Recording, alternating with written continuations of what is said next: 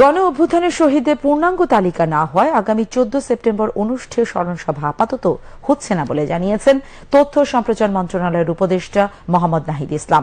আজ সচিবালয়ে সাংবাদিকদের ব্রিফিংকালে কথা বলেন তিনি। এছাড়া ব্রিফিংয়ে জুলাই শহীদ স্মৃতি ফাউন্ডেশন গঠনের বিষয়ে কথা বলেন তথ্য সম্প্রচার উপদেষ্টা। রিপোর্ট শফিউল্লাহ সুমনের। অন্তর্বর্তীকালীন সরকারের এক মাস পূর্তি উপলক্ষে সাংবাদিকদের সঙ্গে তথ্য ও সম্প্রচার মন্ত্রণালয়ের উপদেষ্টা মোহাম্মদ নাহিদ ইসলামের এ সংবাদ সম্মেলন। শুরুতেই সাংবাদিকদের সামনে তুলে ধরেন গত এক মাসের উল্লেখযোগ্য কাজ ও আগামী একশো দিনের কর্মপরিকল্পনা। আন্তর্জাতিক মানবাধিকারের সাথে তো সাইবার সিকিউরিটি অ্যাক্ট, যেটা আগে ডিজিটাল সিকিউরিটি অ্যাক্ট ছিল, সেই অ্যাক্টটা তো সবচেয়ে বেশি এবং আমি নিজেও এই আইনের বিরুদ্ধে বিশ্ববিদ্যালয়ে থাকা অবস্থায় সমালোচনা করেছি, আন্দোলন করেছি। তো এই আইন সহ যে আইনগুলো রয়েছে যেগুলো নিয়ে প্রশ্ন রয়েছে সেই সকল আইনগুলাই আমরা পুনর্মূল্যায়ন করছি। আন্তর্জাতিক মানবাধিকার আইনের সাথে বা মানদণ্ডের সাথে সাংঘর্ষিক আইনগুলাকে আমরা রাখব না। এই মানদণ্ডের ভিত্তিতে আমরা আসলে এটা বিবেচনা করব। সংবাদ সম্মেলনে তথ্য ও সম্প্রচার উপদেষ্টা বলেন ডক্টর মোহাম্মদ ইউনুসকে সভাপতি ও শহীদ মুগ্ধর ভাই স্নিগ্ধকে সাধারণ সম্পাদক করে সাত সদস্যের জুলাই শহীদ স্মৃতি ফাউন্ডেশন গঠন করা হয়েছে। অন্তর্বর্তীকালীন সরকারের প্রধান উপদেষ্টা ডক্টর মোহাম্মদ ইউনুস স্যার হচ্ছেন, এটা এই ফাউন্ডেশনের সভাপতি। জনাব মীর মাহবুবুর রহমান হচ্ছেন, এটা সাধারণ সম্পাদক। মীর মাহবুবুর রহমান হচ্ছে আমাদের যেই শহীদ মুগ্ধ তার যমজ ভাই স্নিগ্ধ।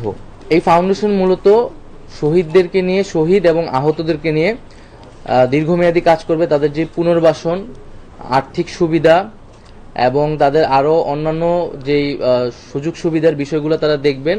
গণ অভ্যুত্থানে শহীদদের পূর্ণাঙ্গ তালিকা না হওয়ায় আগামী চোদ্দই সেপ্টেম্বরের স্মরণ সভা আপাতত হচ্ছে না বলেও জানান উপদেষ্টা।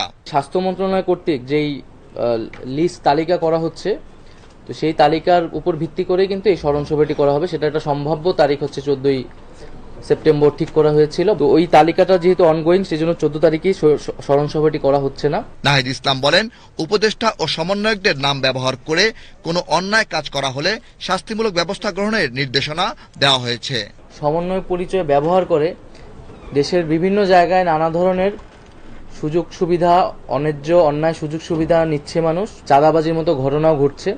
এবং সবার কাছে সুস্পষ্ট বার্তা দিতে যাচ্ছি যে আমার নাম ব্যবহার করে কোথাও কোনো ধরনের অন্যায় সুযোগ সুবিধা নেওয়ার চেষ্টা করলে সেটা যাতে তার বিরুদ্ধে যাতে ব্যবস্থা গ্রহণ করা হয়। কারও নাম ব্যবহার করি যাতে কোনো ধরনের অন্যায় সুযোগ সুবিধা কেউ না নেয়। আগামী একশো দিনের কর্মপরিকল্পনায় গণমাধ্যম কর্মী আইন প্রণয়নের উদ্যোগ রয়েছে বলে জানান তথ্য ও সম্প্রচার মন্ত্রণালয়ের উপদেষ্টা। শফিউল্লাহ সুমন, বাংলাদেশ টেলিভিশন, ঢাকা।